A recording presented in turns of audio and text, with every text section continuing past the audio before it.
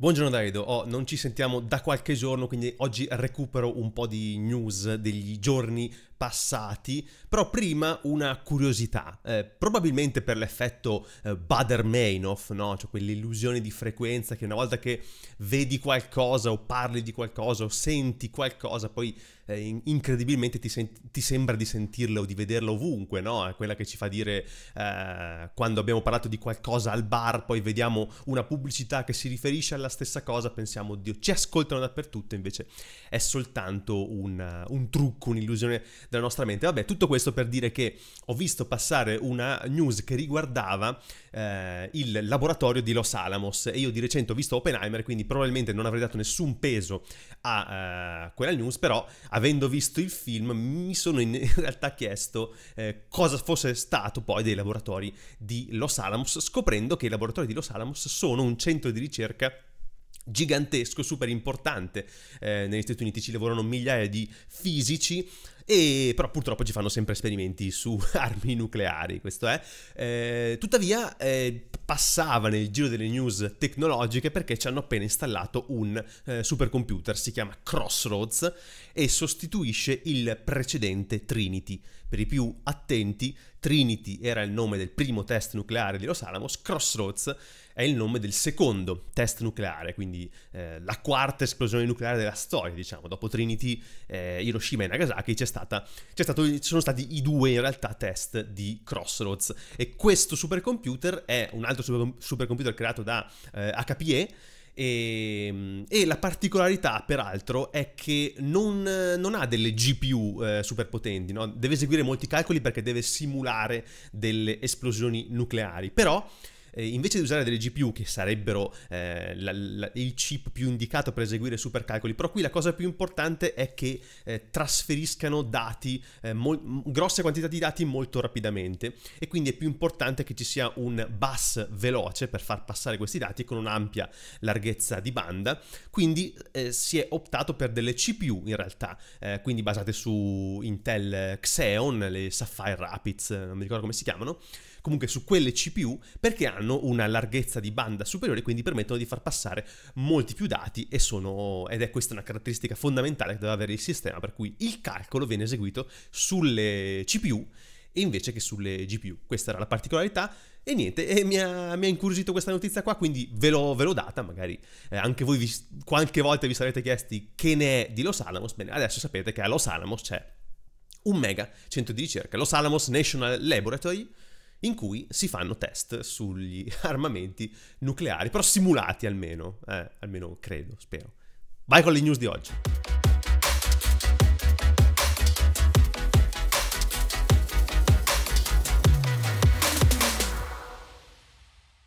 Allora, partiamo con una coppia di news che riguardano AWS. E la prima è l'acquisizione da parte di AWS di Fig.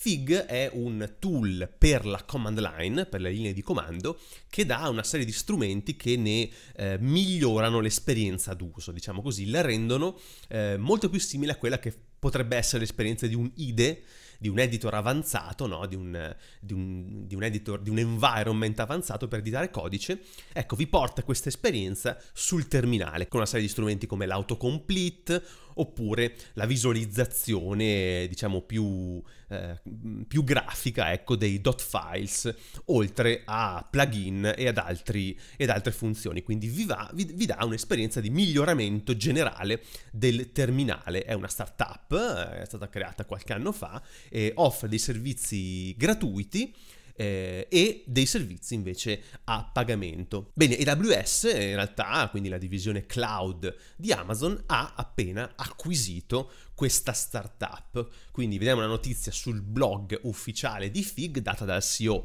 eh, Brendan Falk che quindi dice che appunto Fig eh, entrerà a far parte della suite dei servizi di AWS. Dice anche che chi oggi è utente di Fig continuerà a, con lo stesso supporto eh, di prima, però in più tutte le feature a pagamento di Fig, quelli nel piano Fig Team, diventano gratuite. E per adesso quindi eh, ci sarà una fase di transizione in cui Fig verrà integrato con AWS e poi si vedrà eh, che cosa succederà ecco, a queste feature, a questi, a questi piani, a questi utenti. Quindi per il momento non ci sono update eh, ulteriori su cosa succederà eh, e neanche delle disclosure diciamo sui costi eh, sostenuti da AWS che comunque non paiono essere particolarmente alti perché la valutazione di FIG non è eh, stratosferica e neanche sulle motivazioni che hanno spinto AWS ad acquisire eh, FIG ma eh, TechCrunch va a fare qualche eh, supposizione e in particolare parla della AI perché mm, AWS è entrata diciamo nel gioco dell'AI no? del generative AI game per mettersi in diretta competizione con Microsoft che ha naturalmente GitHub Copilot, Google che ha lanciato un, un competitor e anche Meta che ha un, uh, un, un, tool simile a Copilot che funziona internamente. Ecco, AWS ha lanciato il proprio tool per eh, l'AI generativa sul codice che si chiama Code Whisperer e quindi l'idea potrebbe essere quella di integrare i suggerimenti di Code Whisperer con l'autocomplete di Fig e quindi creare un'esperienza di eh, aiuto agli utenti che usano l'autocomplete di Fig però eh, migliorata dall'intelligenza artificiale di Code Whisperer, questo potrebbe essere un piano e magari anche, eh, aggiungo io, offrire questo servizio con i terminali, eh, sui terminali, sui, sui, servizi cloud di, di, di, AWS. Peraltro si aggiunge, si aggiunge poi nell'articolo di TechCrunch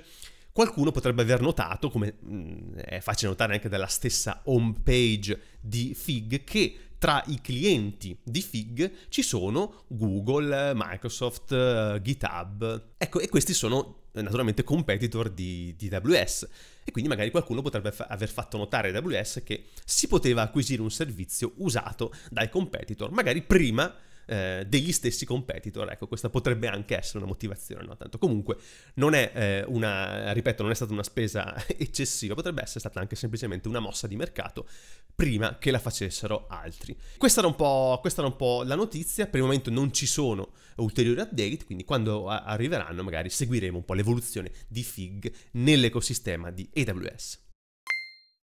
E rimanendo all'interno del mondo AWS, di qualche giorno fa è la notizia del definitivo spegnimento delle istanze EC2 Classic. EC2 Classic, mm, per chi si ricorda il 2006, quando fu lanciato EC2, era stata una mezza rivoluzione no? nel cloud, queste istanze di computer cloud, ce n'era solo una all'epoca, c'era M1 Small,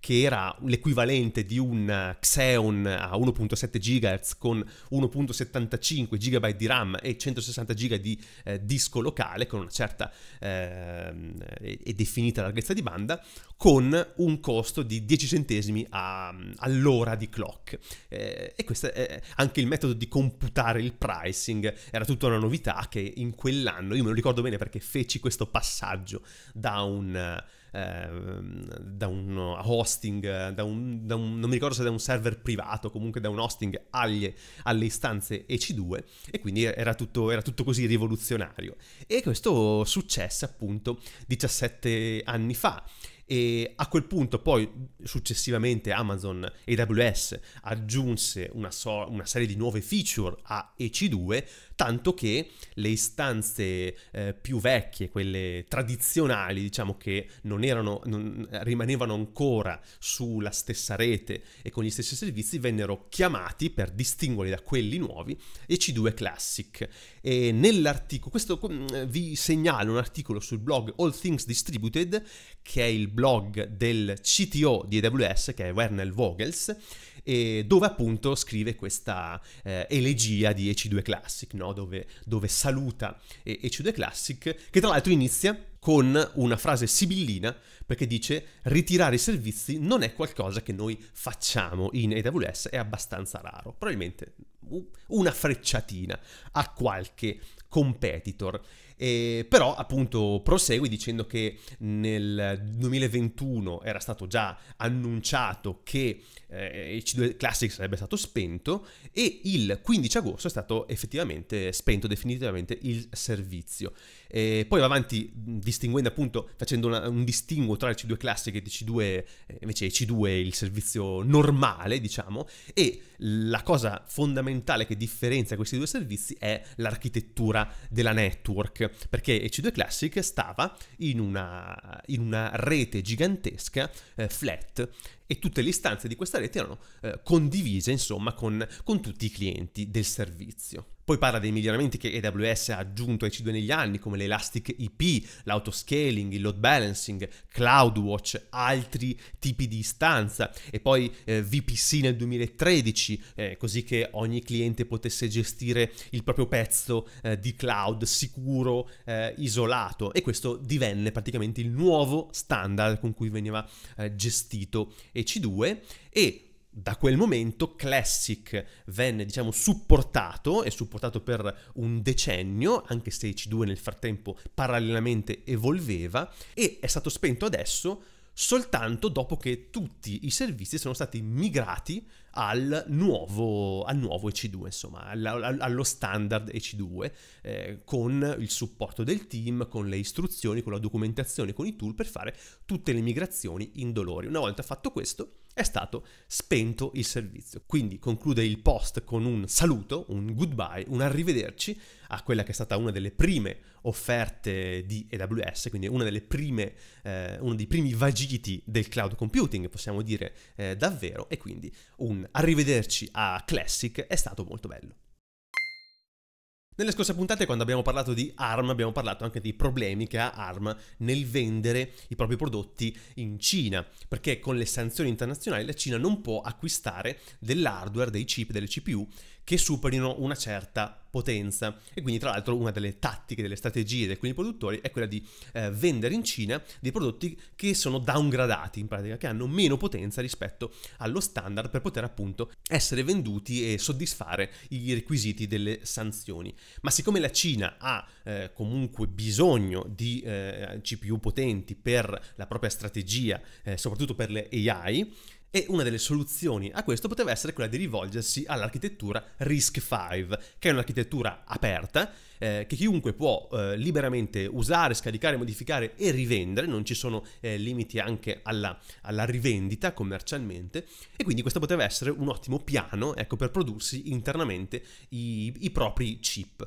Ed è appunto notizia di, eh, del 31 di agosto che eh, i, eh, i, più grandi produttori di chip, alcuni dei più grandi produttori di chip cinesi su architettura RISC-V hanno creato una alleanza, diciamo, sui brevetti. Quindi una sorveglianza sui brevetti basati su RISC-V. Ecco, RISC-V su RISC-V.org, scritto RISC-V proprio.org, trovate questo sito dell'alleanza eh, RISC-V International, che è una sorta di ente che supervisiona l'architettura eh, RISC-V e quello che eh, i propri avanzamenti, insomma quello che succede, è un'architettura anch'essa come ARM basata su RISC, ma è un'architettura mm, totalmente aperta. Ecco, e, e, quindi la notizia appunto è che questi produttori cinesi hanno formato un'alleanza eh, per i brevetti. Questo, eh, questo si chiama China Risk 5 Industry Alliance e quindi questo significa che eh, ora questi produttori potranno eh, scambiarsi conoscenze, creare chip per il mercato interno senza diciamo avere la paura che ci siano dei tribunali che intervengano in questo, in questo processo.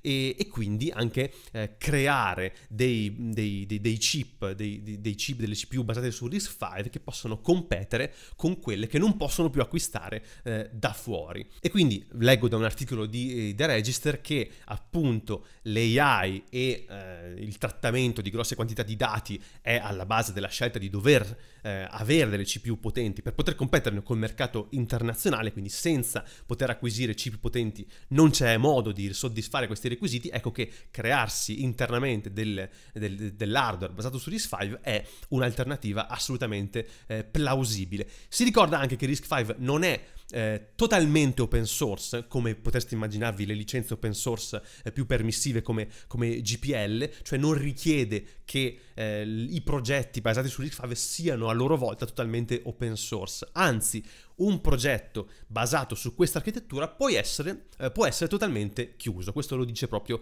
la, la FAQ di, di RISC-V. E in chiusura, qualche giorno fa è arrivata anche una uh, risposta a questo articolo da parte della uh, China RISC-V Industry Alliance, in cui viene ribadito che l'obiettivo è quello di creare un ecosistema di brevetti che non porti a litigation, ecco, quindi che non porti a contrasti tra i produttori e promuovere l'innovazione e lo sviluppo della tecnologia RISC-V. Quindi vi avevo promesso che avremmo, eh, avremmo parlato di RISC-V, ecco qua un primo passo. Poi dopo sarà interessante anche parlare di cosa sta avvenendo nell'ecosistema Linux su RISC-V perché nei nuovi kernel Linux stanno venendo aggiunte sempre più nuove feature eh, dell'architettura RISC-V, quindi è un player interessante, sicuramente eh, da tenere presente, da tenere d'occhio. Oh, e torniamo dai nostri amici di OpenTF, il fork eh, annunciato di Terraform e oggi, da qualche giorno, dal 5 settembre, abbiamo anche disponibile pubblicamente il fork del repository, proprio del, di, di, Terraform, non solo del manifesto, di tutto quello che c'è attorno della roadmap, ma anche del codice del, del fork vero e proprio. Lo trovate quindi su GitHub, sempre sotto OpenTF Foundation slash OpenTF e qui c'è tutto il codice sorgente e quindi eh, le, sul blog ufficiale della fondazione, che non è una fondazione, comunque di questo gruppo OpenTF, eh, si va appunto a ribadire che siccome non ci sono state risposte da parte di HashiCorp, ecco che il private fork era stato creato e oggi questo fork è pubblico e è, è disponibile. Quindi si parla appunto della eh, volontà di lavorare eh, nel, nel, in pubblico, ecco, con tutte le novità che verranno aggiunte al software saranno eh, rese pubbliche da qua in avanti. C'è una roadmap che già eh, avevamo visto sul repo di GitHub, da, eh, quello che è stato già fatto e quello che verrà fatto con i prossimi passi che saranno quella della creazione di un OpenTF registry perché il registry di Terraform mantenuto da HashiCorp non potrà essere usato da OpenTF o da qualsiasi fork di Terraform perché ci sono appunto stati dei cambiamenti sul registry di Terraform che non permettono di essere usato con, con i fork e poi verrà creato un processo per rilasciare nuove versioni di OpenTF e si arriverà appunto poi a una alpha release. Um, per creare l'OpenTF è stata aperta una RFC, quindi un request for comment, trovate su GitHub, quindi potete andare a vedere come prosegue la discussione sulla creazione di questo registry e eh, magari contribuire e poi arriverà finalmente la stable release. Quindi noi saremo qua sempre a seguire, ve l'avevo detto, questo progetto che comunque è comunque un fatto molto significativo e interessante nel panorama open source e vale assolutamente la pena di seguirlo. Oh, adesso vi metto a parte di una notizia che mi consente di autocitarmi, perché qualche giorno fa la OpenSSF, che eh, sapete che è la Open Source Security Foundation, che è parte della Linux Foundation e eh, promuove eh, best practice e standard per la sicurezza nell'open source, ecco, ha scritto in un blog post, eh, ha lanciato un manifesto eh, in un processo ispirato dall'Agile Manifesto, ha lanciato quello che si chiama Open Source Consensus Consumption Manifesto. Ed è interessante, secondo me vi consiglio assolutamente di andare a leggere questo blog post anche perché è abbastanza breve, fondamentalmente va a spiegare il perché, le motivazioni che hanno portato alla scrittura di questo manifesto e eh, quali sono i principi eh, alla, sua, alla, sua, base. Fondamentalmente, come eh, la Già Manifesto, è una serie di eh, pratiche, di best practice, di linee guida, ecco, eh, che dovrebbero portare al, a un utilizzo più eh, consapevole e più sicuro di software open source. Tutta la premessa dell'articolo è che naturalmente oggi l'open source è ovunque, ogni compagnia, praticamente eh, ogni tech company, ma non solo nel mondo utilizza software open source e quindi la sicurezza della supply chain, quindi di tutto, eh, di tutto lo stack tecnologico tecnologico, di tutte le dipendenze e le dipendenze delle dipendenze, insomma di tutto quello che sta attorno all'ecosistema software di un'azienda, deve essere trattato in modo eh, sicuro. Ne va del, di tutto l'ecosistema, non soltanto della sicurezza di una singola azienda, ma siccome è tutto interconnesso, ecco che ne va della sicurezza di tutto il sistema. Quindi con questo manifesto ci sono 15 principi, 15 linee guida che vanno un po' a guidare il corretto utilizzo in sicurezza delle, del proprio stack eh, open source, quindi con... Eh, l'idea che le aziende utilizzino in modo consapevole eh, quello, che, quello, che, fanno, quello che scaricano, il software che scaricano e, mm, e che mettano anche i propri eh, developer, i propri sviluppatori nella condizione di lavorare in modo sicuro e consapevole e poi che si adottino delle policy, delle pratiche iterative in tutte le operazioni che si fanno nella, nel, nell'adozione, nel consumo, quello che viene chiamato consumo eh, del software. Quindi ecco consiglio a tutti, a tutte le aziende, a tutte le organizzazioni, ma anche agli individui, ecco, di leggersi questo manifesto e di farlo proprio, perché sono eh, linee guida eh, assolutamente importanti, non sono regole ferre, ma sono proprio dei principi che dovrebbero guidare nell'adozione e uso di software open source. Dicevo che volevo autocitarmi perché ne ho scritto un articolo a eh, compendio, a corredo, a commento di questo eh, Open Source Consumption Manifesto abbreviato in OSCM questo mio articolo lo trovate sul tech blog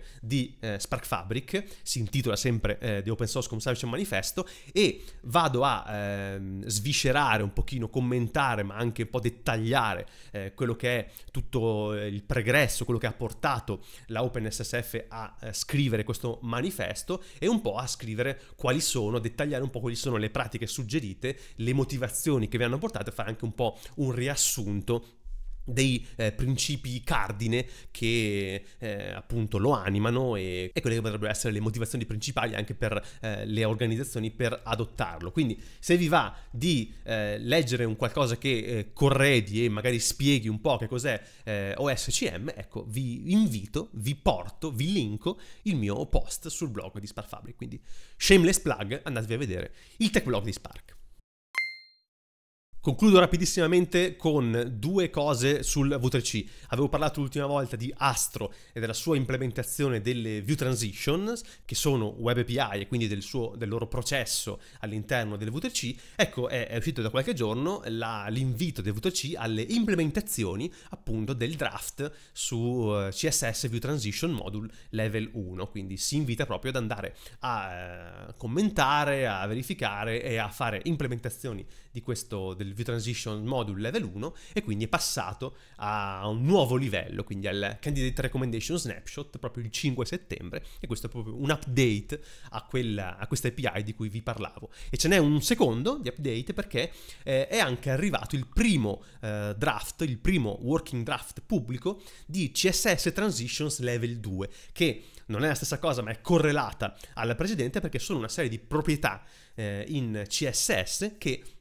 vanno a stilizzare, a stilare, eh, ecco, le, le, appunto, le transizioni. Quindi abbiamo la, la, la, durata, la delay, behavior, insomma abbiamo una serie di, eh, di, di, di, proprietà CSS che vanno proprio a decorare eh, queste transizioni e sono tutte documentate eh, su questo eh, First Public Working Draft che al momento quindi eh, è nello stadio iniziale, può solo essere letto, ecco, non, non ci sono ehm, richieste di commenti o di implementazioni, è proprio proprio nel primo draft che il working group sta portando avanti, però questo processo è pubblico e quindi potete andare a vedere anche che cosa sta succedendo in un um, ehm, CSS Transitions che potrebbe diventare uh, in futuro parte di CSS, quindi essere nel toolkit di ogni developer che si rispetti. Ecco, quindi aggiungo anche questo al discorso sulle view transitions che consiglio di seguire. Ed era anche tutto per questo buongiornissimo, quindi grazie di averlo seguito. Naturalmente ci possiamo sentire su tutti i social che volete, ma si apre anche una stagione di eventi, quindi magari se bazzicate qualche evento in giro per l'Italia eh, ci si beccherà lì. Eh, tanto adesso sapete che l'autunno è proprio la stagione clou, eh, da qua a dicembre praticamente sarà tutto un susseguirsi di eventi e io eh, spero di riuscire ad andare a parecchi, quindi magari ci si becca. Quindi niente, grazie a tutti e alla prossima.